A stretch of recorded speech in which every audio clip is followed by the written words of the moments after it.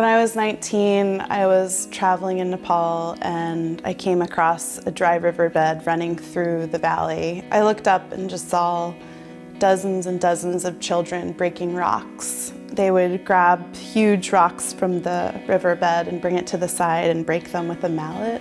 It was just a moment for me where I started to question my own upbringing, how I could give back and what my role is, and just how we can do better as a human family, how we can make this world a better, more equal place for every single child. There was this one little girl named Hima, and she looked up at me and smiled with this big, beautiful smile, and she said, Namaste, Didi.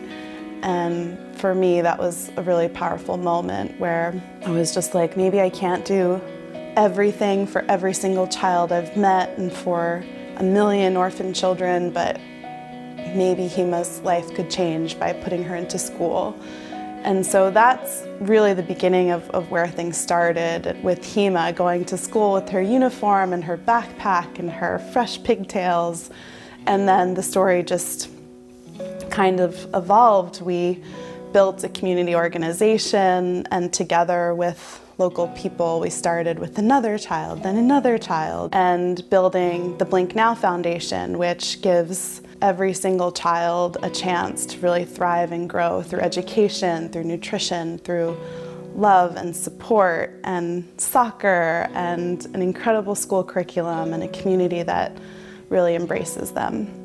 The title of the book is Between the Mountain and the Sky. It's a journey about motherhood, about Nepal, about grief and loss and love. The story really takes place at the foothills of the Himalayan mountains and I just have this image of the kids on the roof with their kites and their laughter and their music um, looking off into the mountains and the rice paddy.